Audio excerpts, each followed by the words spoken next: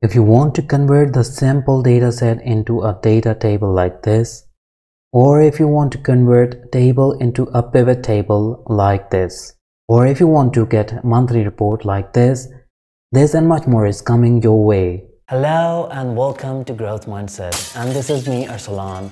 Today we will be building the pivot table from the scratch and see how it makes the reporting very very easy. Let's dive straight into the examples. Today we will be seeing that how the pivot table works. We have a table that contains country, brand, month, sales for the year 2013, 14 and 15 and we'll see that how we will use the pivot tables to analyze the data. For that we're going to convert this data into a table and we go in the insert tab over here we go and select table. We check mark my table has headers and we press OK. Now the data has been converted to a table. Or we can simply press Ctrl and T to get the table. Now next we go in the insert tab again and we select the pivot table and the data has been selected. We press OK and again we have here an option new worksheet and we press OK and the pivot table appears in a new worksheet. We rename this sheet for our ease and here we have the pivot table field. We can select the country, brand, month and the sales for the three years as it was appearing in the original dataset. So we begin by selecting the country. The country appears in the row section then we select the brand. It also appears in the row section. Now we have the bifurcation country wise as well. Within each country we have a bifurcation of the brand. Then we select the sales. For instance we select one year 2013 but it is appearing in rows. We want this in values so we are going to click it and drag it to values but this is not giving the sum of sales it is instead giving the count of sales whereas we want the sum of sales so there are two ways to do it either you go over here value field setting and you select sum and press OK and you get the sum. However, when you're going to again select the sales for 2014, you drag it over here in values, then you can see that it is again giving the count. What if if we want the sum straight away rather than counts? Now we go back into our sales data and see why this is happening. We can see that there are many empty cells and because of these empty cells it is giving count and not the sum of the columns. These empty cells are treated as text. So what we can do is that we select these three columns and replace all the empty cells with zero and then it is going to give sum rather than count. So use Control F, find and replace, find the empty cells and replace it with 0, replace all, we press OK and now close. Now before doing anything else, we go in the data tab, we refresh our data and a pivot table has been refreshed. Now what we can do is we can uncheck it and now we select sales for the year 2013, 14, 15 and you can see in cell B3, C3 and D3 it states that it is sum of sales and rather than count of sales. Now for instance if we want to add the months as well we add months in columns. And we make our data a little bit narrower by unchecking years 2014 and 15 so we have the data for the year 2013 as stated in cell A3 and here we see that we have month-wise data and a grand total at the end.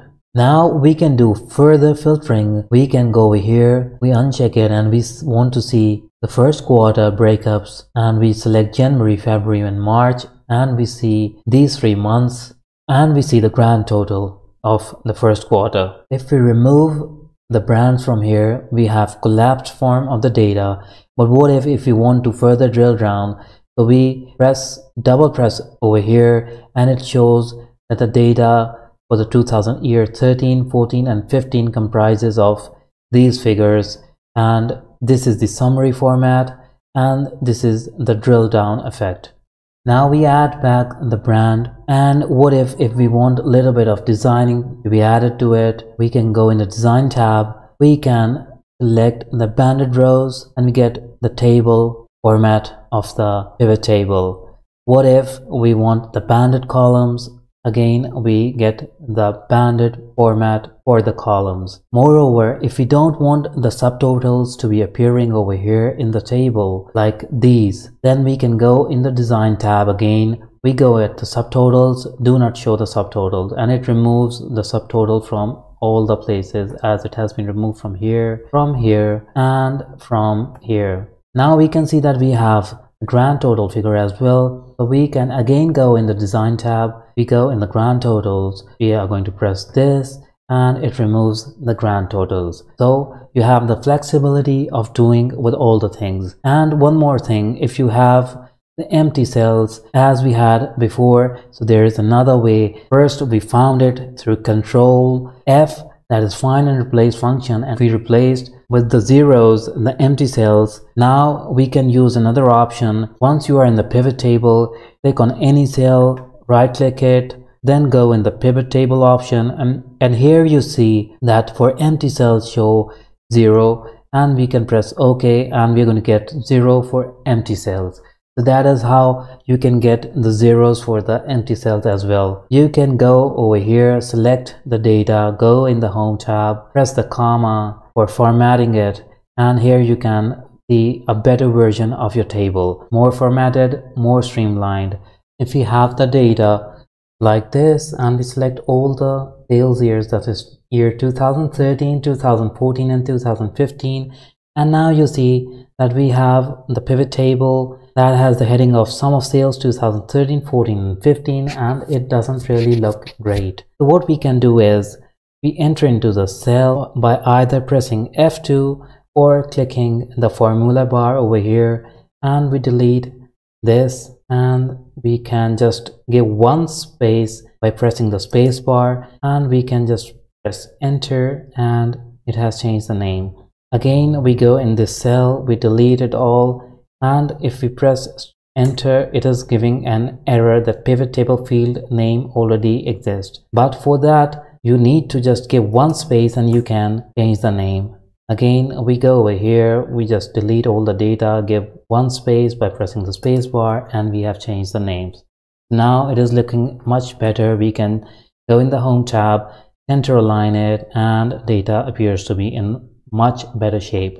And lastly, we are going to see that what if we want to expand our data table. For instance, if we have this column and we have the year 2016 data available. So we are going to just copy this column and paste it over here and we are going to give it year 2016 and we can see we have the handle over here. We hover over here on the edge of the table and we are going to click it and drag it and bringing year 2016 also in the table this 2016 data is just a copy of year 2015 to show you how we can extend our data table. We go in the data tab, we refresh all and in pivot table we can see that it has added the sales year 2016 which was not existing before if you click onto this, obviously it is going to give the same data as sales 2015 because we have just copied and pasted it just to show you how it works. But if the figures are going to be different over there, then it is going to be obviously different figures appearing in year 2016. So that's all for today. That's how the pivot table works. That's how we can make sure that all the data gets wrangled up in a way that we want to and we can just ensure that whatever variables we want to get in the columnar form or the row form and you can just click and drag and drop and make sure that the data is customized according to your needs. Well, that's all for today. Thanks for joining me. If you've liked the content, then make sure that you like and subscribe the channel. So see you soon. Take care and bye-bye.